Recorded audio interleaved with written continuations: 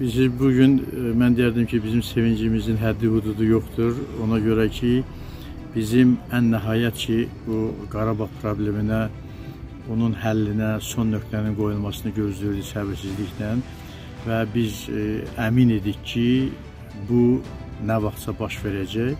Amma nə vaxt və necə lazım olduğunu onu ancaq Müzəffər Ali Başkomandan bilirdi. Bugün möhtərəm prezidentimiz Müzəffər Ali Başkomandan cənab İlham Əliyevin birinci müddətə prezident seçilməsindən 20 il ötür.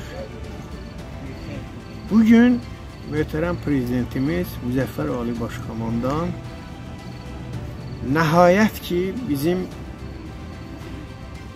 30 illik arzumuzu reallaşdırdı və Xankəndi şəhərinə Azərbaycan Respublikasının dövlət bayrağını saçdı.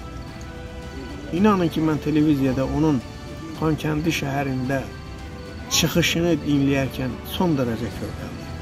Təbii ki, Azərbaycan xalqı, Azərbaycan dövləti öz e, Cümhuriyyət tarixində ən şərəfli, ən qürurlu bir e, günü yaşadı.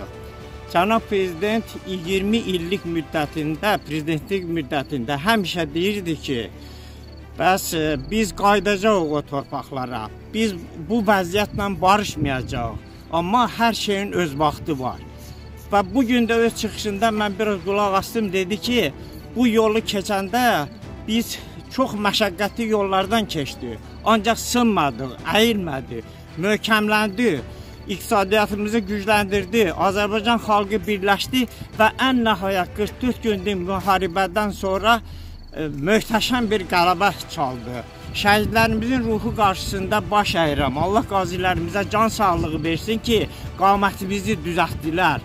Bu gün biz hara baxırıq, bütün dünya Azərbaycanlıları böyük fəxarət hissi ilə başı uca, dik, üzü ağ, alnı açıq yaşayırlar. Bu gün cənab Ali Baş Komandanımız İlham Əliyev Xankəndində Azərbaycan bayrağını ucaltdı və bununla da Azərbaycan bir daha e, qürur duyur və bu demək olar ki, Şuşanın işğaldan azad edilməsi və bir sıra bizim qələbələrimizdən sonra bizim bərpa elədiyimiz növbəti tarixi ədalətdir